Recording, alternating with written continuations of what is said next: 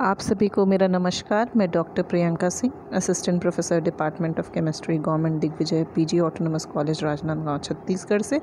आज हम देखेंगे photo electric effect. Photo electric effect, ये आइंस्टीन के द्वारा स्टडी किया गया एक इफ़ेक्ट है। Light light like all other radiation is made up of small particles called photons. सभी जानते हैं कि जो लाइट रेडिएशंस हैं, उस छोटे छोटे पार्टिकल्स जिन्हें फोटोन कहते हैं, उनसे मिलकर बना होता है।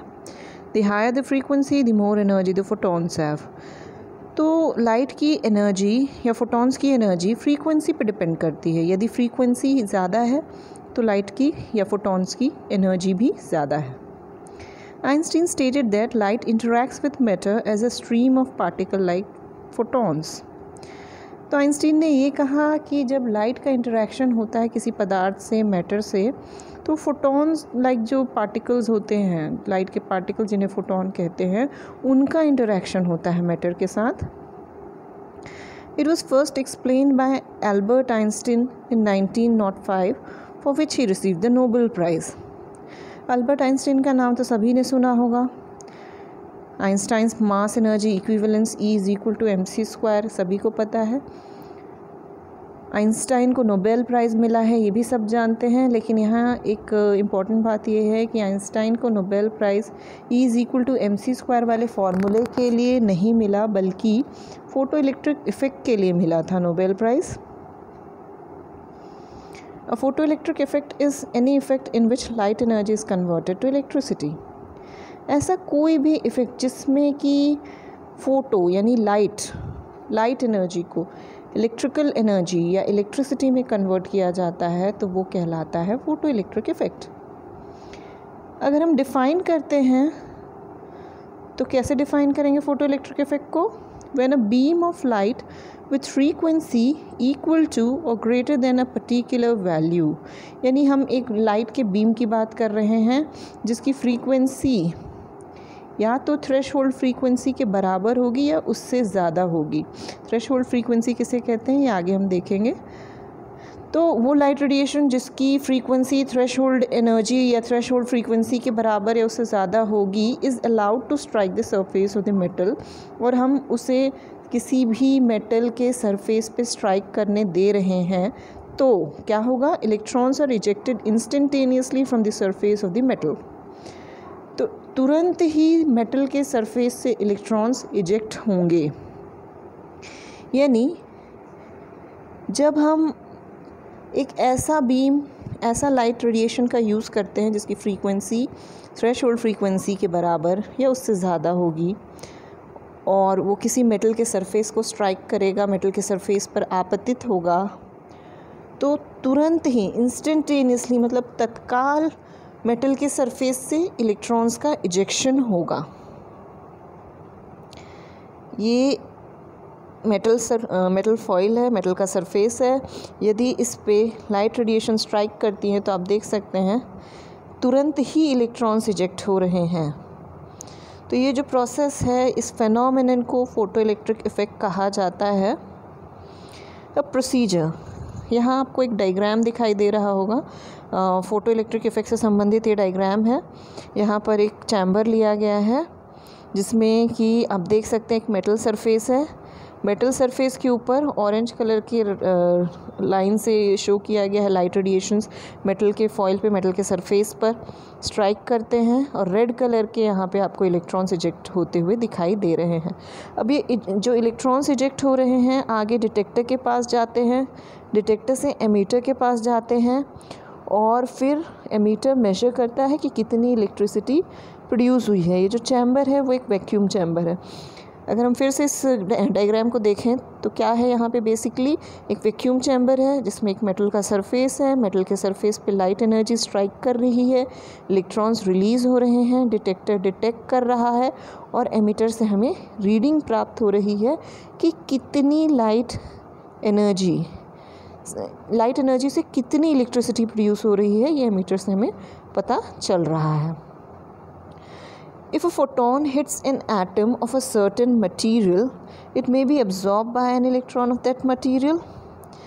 तो यहाँ ये कहा जा रहा है कि अगर कोई फोटोन किसी मटेरियल के एटम से टकराता है तो क्या ऑप्शन है? पहला ऑप्शन तो यही है कि जो इलेक्ट्रॉन है उस एटम का उस एनर्जी को अब्जॉर्ब कर लेगा। दूसरा क्या हो सकता है? हाउ वो if the photon has enough energy the electron is rejected और एमिटेड फ्रॉम द एटम अगर थ्रेश होल्ड फ्रीक्वेंसी से ज़्यादा फ्रीक्वेंसी है लाइट रेडिएशन की तो इन दैट केस वो फोटोन की एनर्जी ज़्यादा होती है यदि तो इलेक्ट्रॉन ना सिर्फ़ उसे अब्जॉर्ब करेगा एनर्जी को, बल्कि इजेक्ट या एटम से बाहर निकल जाएगा। थ्रेश होल्ड फ्रीक्वेंसी क्या है? बार बार ये टर्म आ रहा है तो उसको समझ ही लेते हैं। थ्रेश होल्ड फ्रीक्वेंसी यानी एक मिनिमम अमाउंट ऑफ़ एनर्जी की ज़रूरत है। इलेक्ट्रॉन जो है एटम के साथ जुड़ा हुआ होता है बाइंडिंग एनर्जी होती है उसकी। तो हमें मिनिमम इतनी एनर्जी चाहिए होती है फोटॉन्स के फॉर्म में कि वो बाइंडिंग एनर्जी प्रोवाइड करे। बाइंडिंग एनर्जी अगर मिल जाता है इलेक्ट्रॉन को तो वो एटम को छोड़कर आगे जा सकता है, बाहर निकल सकता है। तो वो एनर्जी क्या कहलाएगी? थ्रेश होल्ड उस एनर्जी से रिलेटेड फ्रीक्वेंसी कहलाएगा threshold frequency in this way light energy changes into electrical energy तो जैसे ही लाइट एनर्जी स्ट्राइक किया, दो ऑप्शंस पॉसिबल हैं। पहला तो जो एटम है, उसके इलेक्ट्रॉन्स लाइट एनर्जी को अब्जॉर्ब कर लेंगे। दूसरा, यदि उसकी फ्रीक्वेंसी फोटॉन्स की फ्रीक्वेंसी थ्रेशोल्ड फ्रीक्वेंसी से ज़्यादा है तो इलेक्ट्रॉन्स एमिट होंगे, बाहर निकल जाएँगे सरफेस से। तो इस प्रकार से हम क्या देख सकते हैं कि लाइट एनर्जी इलेक्ट्रिकल एनर्जी में चेंज हो रही है। लाइट एनर्जी स्ट्राइक कर रही है मेटल सरफेस पे, जो इलेक्ट्रॉन्स निकल रहे हैं एक्चुअली इलेक्ट्रिसिटी होता है क्या है? फ्लो ऑफ़ इलेक्ट्रॉन्स तो लाइट के स्ट्राइक करने पे इलेक्ट्रॉन्स फ्लो करते हैं इलेक्ट्रॉन्स एटम से या मेटल के सरफेस से रिलीज़ होते हैं। तो ये क्या किस फॉर्म में हमको देखने को मिलेगा? इलेक्ट्रिसिटी या इलेक्ट्रिकल एनर्जी के फॉर्म में देखने को मिलेगा। तो कुछ कैरेक्टरिस्टिक्स भी हैं फ़ोटो इलेक्ट्रिक इफ़ेक्ट के। पहला तो ये है the electrons are rejected only if the frequency of the incident light is equal to और greater than a minimum value called threshold frequency इस चीज़ को हम लोग डिस्कस कर चुके हैं कि इलेक्ट्रॉन तभी इजेक्ट होगा मेटल के सरफेस से जब जो स्ट्राइकिंग लाइट रेडिएशंस हैं, जो फोटॉन्स हैं, उनकी फ्रीक्वेंसी थ्रेश होल्ड फ्रीक्वेंसी के बराबर होगी या उससे ज़्यादा होगी। थ्रेश होल्ड फ्रीक्वेंसी या थ्रेश होल्ड एनर्जी क्या है?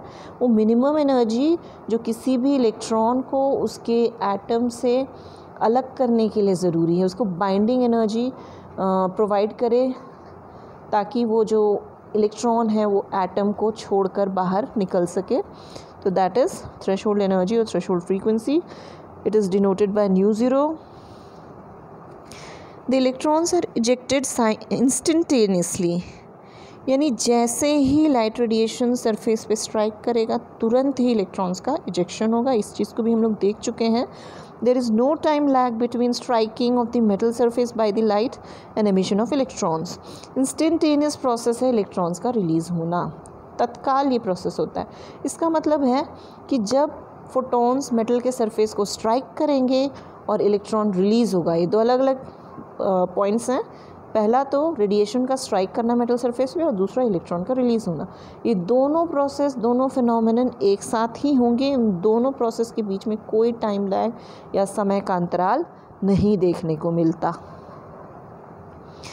The kinetic energy of the emitted electrons depends upon the frequency of the incident light तो तीसरा पॉइंट कह रहा है कि जो एमिटेड इलेक्ट्रॉन्स हैं, उनकी काइनेटिक एनर्जी किस पर डिपेंड करती है? Frequency of the incident light. Frequency. Frequency क्या डिनोट कर रहा है लाइट का? एनर्जी को भी डिनोट करता है। फ्रीक्वेंसी से आप एनर्जी कैलकुलेट कर सकते हैं। Is equal to H nu. तो यदि न्यू ज़्यादा है तो ई ज़्यादा होगा, एनर्जी ज़्यादा होगी। और यदि फोटॉन्स की एनर्जी ज़्यादा है तो इलेक्ट्रॉन्स की बाइंडिंग एनर्जी, यानी इलेक्ट्रॉन्स के मेटल के सरफेस से बाहर निकलने के बाद जो काइनेटिक एनर्जी है, यहाँ दो चीज़ें हैं, फिर से एक बार ध्यान दीजिएगा, दो दो एनर्जी की बात हो रही है बाइंडिंग एनर्जी और काइनेटिक एनर्जी जितनी एनर्जी की आवश्यकता होती है इलेक्ट्रॉन को मेटल के सरफेस से, या मेटल या एटम कह सकते हैं एटम से इजेक्ट करने के लिए, वो कहलाएगी बाइंडिंग एनर्जी इजेक्शन तो हो गया, लेकिन इलेक्ट्रॉन वहीं मेटल के पास या एटम के पास थोड़ी रहेगा, वो दूर जाएगा तो इस प्रोसेस में वो क्या कर रहा है, गति शो कर रहा है काइनेटिक मोशन शो कर रहा है तो जो एक्स्ट्रा एनर्जी फोटोन में है बाइंडिंग एनर्जी के अलावा, वो एनर्जी इलेक्ट्रॉन एक्सेप्ट करता है और किस फॉर्म में एक्सेप्ट करता है? काइनेटिक एनर्जी के फॉर्म में। मान लीजिए बाइंडिंग एनर्जी 80 किलो जूल है और आपने फोटोन यूज़ किया 100 किलो जूल का। तो 80 किलो जूल तो इलेक्ट्रॉन को इजेक्ट करने के लिए लगेगा और बच गया 20 किलो जूल तो वो 20 किलो जूल इलेक्ट्रॉन की काइनेटिक एनर्जी को बढ़ाएगा। तो ये पॉइंट समझ में आ रहा है? यदि फोटोन का फ्रीक्वेंसी ज़्यादा है if the frequency of photon used और incident light used is more तो काइनेटिक एनर्जी ज़्यादा होगी इलेक्ट्रॉन की। ज़्यादा एनर्जी की आप रेडिएशन यूज़ करेंगे तो इलेक्ट्रॉन का जो काइनेटिक या गति जो है वो ज़्यादा देखने को मिलेगी। Laws of photo electric emission law one पहला लॉ क्या कहता है? कि number of photo electrons emitted is directly proportional to the intensity of incident light photo electrons release हो रहे हैं। कितनी संख्या में फ़ोटो इलेक्ट्रॉन्स रिलीज़ हो रहे हैं? ये डिपेंड करता है इंटेंसिटी ऑफ़ इंसिडेंट लाइट पे। जो इंसिडेंट लाइट है, उसकी इंटेंसिटी तीव्रता कितनी है, उसके ऊपर डिपेंड करता है।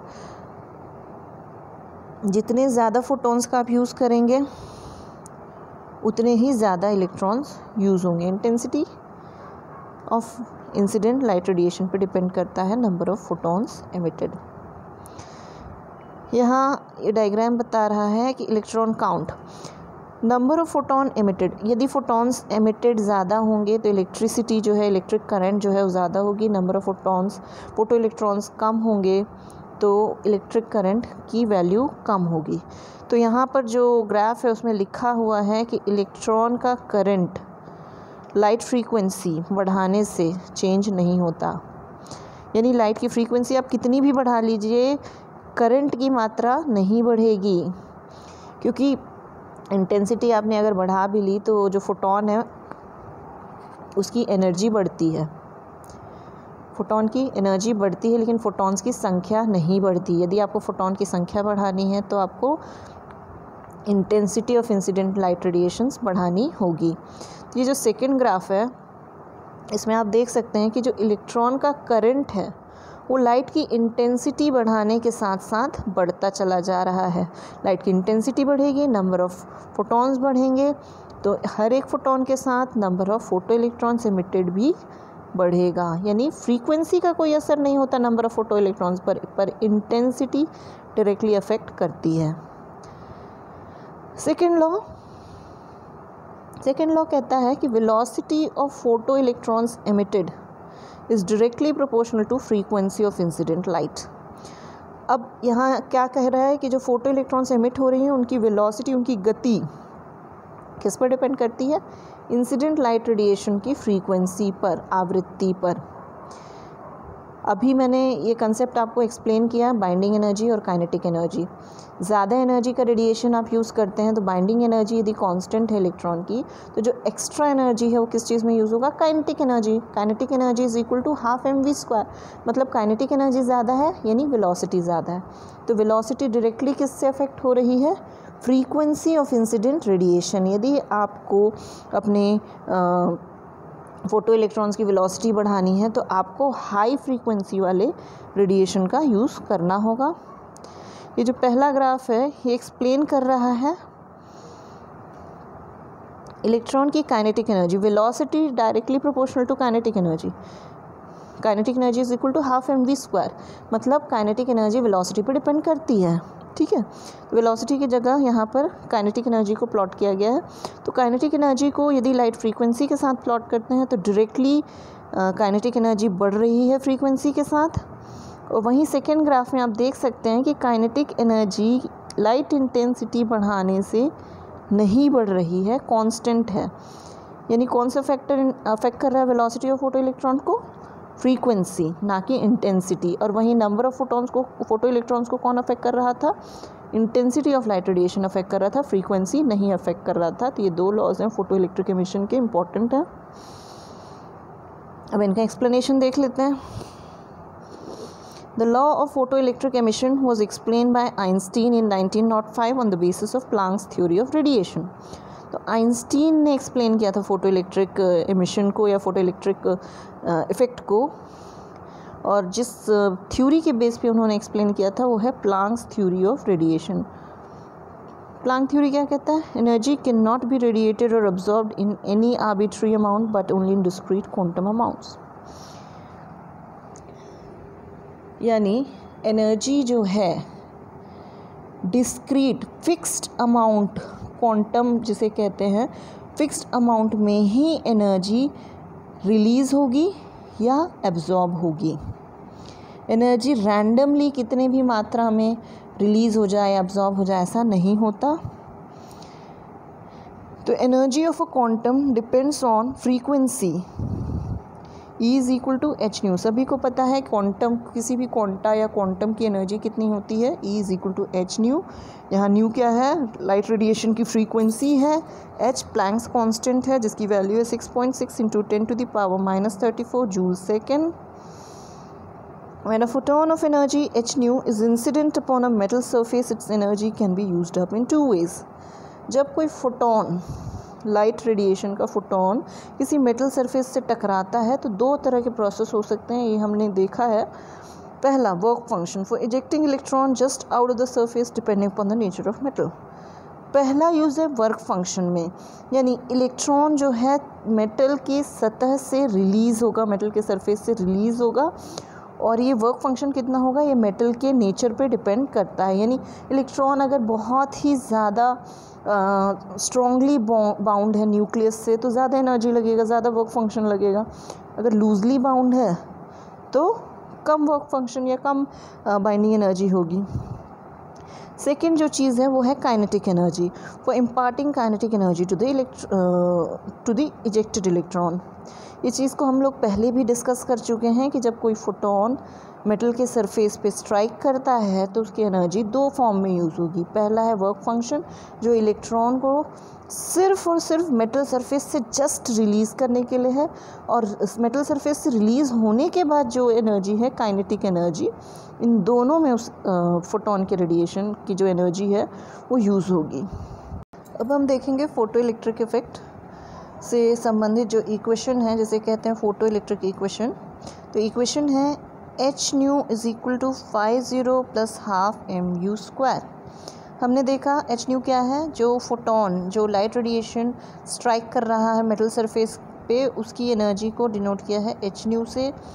वर्क फ़ंक्शन है फाइव ज़ीरो और काइनेटिक एनर्जी है हाफ़ एम वी स्क्वायर तो जो फोटोन की एनर्जी है, वो दो चीज़ों में यूज़ होती है। पहली है बाइंडिंग एनर्जी या वर्क फ़ंक्शन इलेक्ट्रॉन की फाइव ज़ीरो और दूसरी है kinetic energy half m u square अब जो फाइव ज़ीरो है फाइव ज़ीरो क्या था? वर्क फ़ंक्शन वो भी एनर्जी ही है बाइंडिंग एनर्जी इलेक्ट्रॉन की।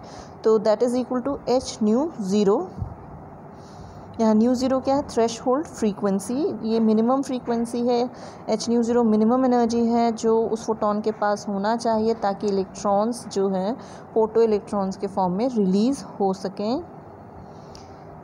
इक्वेशन में पुट करते हैं फाइव ज़ीरो की वैल्यू एच न्यू ज़ीरो तो क्या इक्वेशन मिलता है? H nu is equal to h nu zero plus half m u square rearrange करते हैं यदि इक्वेशन को तो क्या मिलेगा? Half m v square is equal to h common ले लिया गया है nu minus nu zero kinetic energy क्या है? बेसिकली जो फोटोन जो इलेक्ट्रॉन की काइनेटिक एनर्जी होगी, वो क्या होगी? फोटोन जिसका कि इंसिडेंट फोटोन है इंसिडेंट लाइट रेडिएशन की energy minus threshold energy जो इलेक्ट्रॉन की या इलेक्ट्रॉन की बाइंडिंग एनर्जी का, जो डिफरेंस है, वो होगा kinetic energy this is known as photo electric equation Einstein's photo electric equation इसका इम्पोर्टेंस क्या है?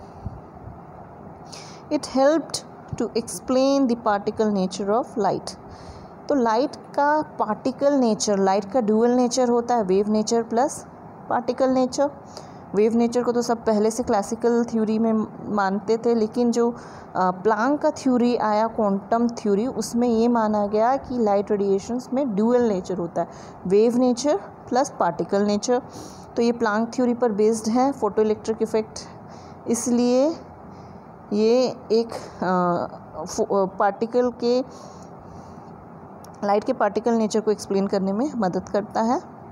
It is the basis of quantum theory quantum theory जो है वो प्लांक के क्वांटम थ्योरी प्लांक के क्वांटम जो कंसेप्ट है उस पर बेस्ड है और उसी से रिलेटेड थ्योरी है फ़ोटो इलेक्ट्रिक इफ़ेक्ट की theory it is used in photo cells example in solar calculators alarms automatic garage door openers flash of a camera photo cells में जो हैं, वो भी फ़ोटो इलेक्ट्रिक इफ़ेक्ट पर बेस्ड हैं।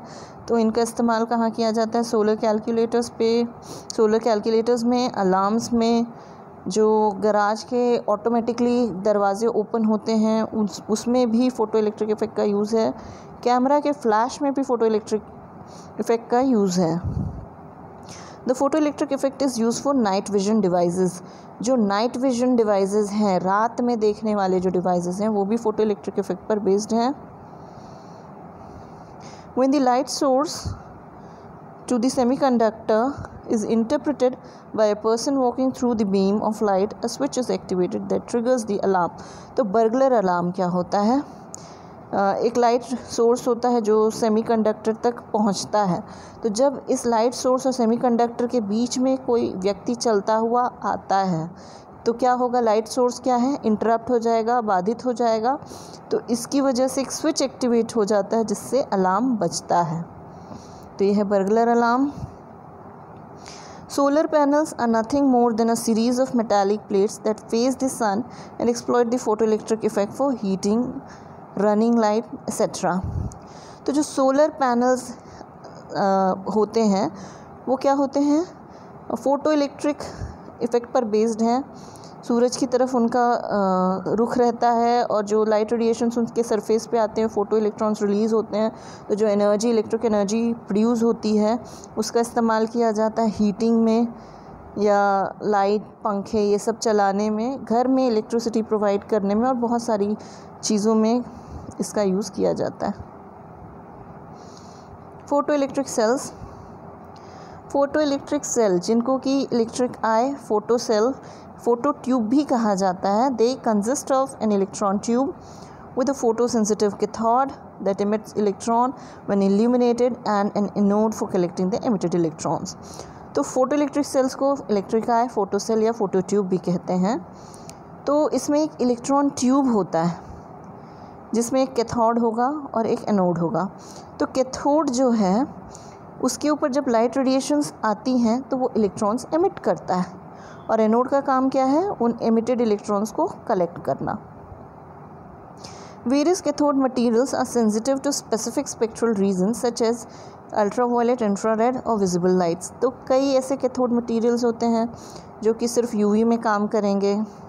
या आईआर रेडिएशन से ही इफ़ेक्ट होगा या विजिबल लाइट में। तो ये इनके प्रति सेंसिटिव होते हैं। लाइट रेडिएशन किस प्रकार का यूज़ हो रहा है उस पर डिपेंड करता है। The voltage between the anode and cathode causes no current in darkness because no electrons are emitted यदि अंधेरा है डार्कनेस है लाइट रेडिएशन है ही नहीं तो कैथोड से इलेक्ट्रॉन प्रोड्यूस नहीं हो रहा है, जिसको कि एनोड कैच नहीं करेगा तो इस प्रोसेस में इलेक्ट्रिसिटी प्रोड्यूस होगी ही नहीं। वोल्टेज आएगा ही नहीं दोनों के बीच में एनोड और कैथोड के बीच में। But illuminate illumination excites electrons that are attracted to the anode लेकिन आप इल्यूमिनेशन करते हैं, यानी लाइट रेडिएशंस यूज़ करते हैं तो क्या होगा? कैथोड से इलेक्ट्रॉन्स रिलीज़ होंगे जो कि एनोड में एनोड तक पहुँचेंगे producing current proportional to the intensity of illumination तो इससे करंट प्रोड्यूस होगा और ये करंट डिपेंड करता है किस पर? Intensity of illumination light radiation की तीव्रता पर। Photo electric cells are use in burglar alarms exposure meters lux meter etcetera इनका इस्तेमाल बर्गलर अलार्म्स में किया जाता है एक्सपोजर मीटर्स में लक्स मीटर्स में एक्सेट्रा बर्गलर अलार्म्स अभी हमने देखा है। ये डायग्राम है फ़ोटो इलेक्ट्रिक सेल का। यहाँ आप देख सकते हैं, एक इलेक्ट्रो ट्यूब है, जिसमें एक कैथोड है सी से डिनोट किया गया है उसे और एक एनोड है जिसे ए से डिनोट किया गया है।